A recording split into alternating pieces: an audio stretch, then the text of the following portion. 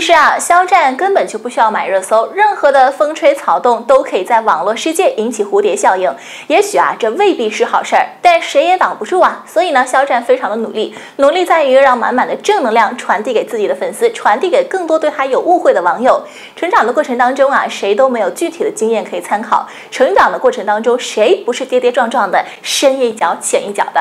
肖战走得更加的困难，几乎是步步艰辛，但是他始终是带着你爱的微笑。负重前行，我只能够一次次的提醒大家了。肖战并不是躲在粉丝背后的怂人，只是在特殊的时期，大家都要把最多的精力放在抗疫上面。然而呢，错过了解决问题最好的黄金七十二小时，这是他的错，那也不全是他的错。但谁都不希望发生这件事情啊，对不对？而且后期啊，影响越来越大，这也不排除着别有用心的人在煽风点火。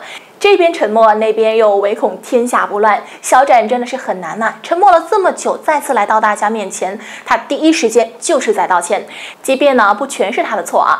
但始终是因他而起的，但这样的担当其实也没有哪家偶像可以做到了。我真不觉得啊，偶像需要为粉丝的行为买单，他们是独立的个体，偶像和粉丝也不是上下级的关系，更不是从属关系。他今天呢可以粉你，明天他又可以粉别人，难道这样子也要为他的言行所负责吗？真的只能够一次次的呼吁，一次次的提醒，但是喊破喉咙的禁己之力又如何呢？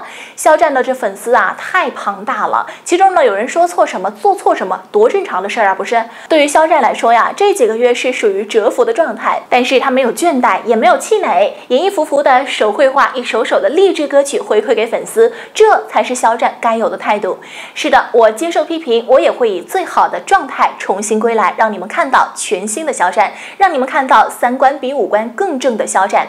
看到肖战在唱竹石，我有一些难过。与第一次唱竹石相比啊，肖战少了激情，却多了坚定。然而东西南北。风不怕身心的伤，他自知。肖战经历了什么样的心理过程，以及公众人物该如何承担社会责任等问题呢？他说啊，我们应该学会与不同的声音相处，也尊重每个人正当发言的权利。在成长的时候接受批评，在困境当中释放善意。从认识肖战开始，他就是这样说的，也是这么做的。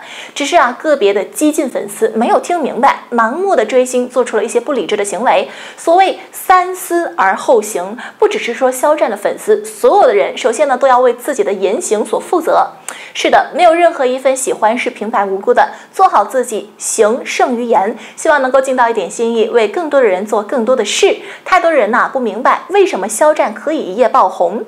是吗？那都是厚积薄发的，他也是从小透明做起的呀。他没有辜负大家的这份喜欢，而且最大程度的回馈给大家。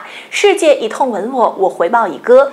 愿每个善良的人都能够被世界温柔以待，愿正能量的肖战能够被这个世界温柔以待。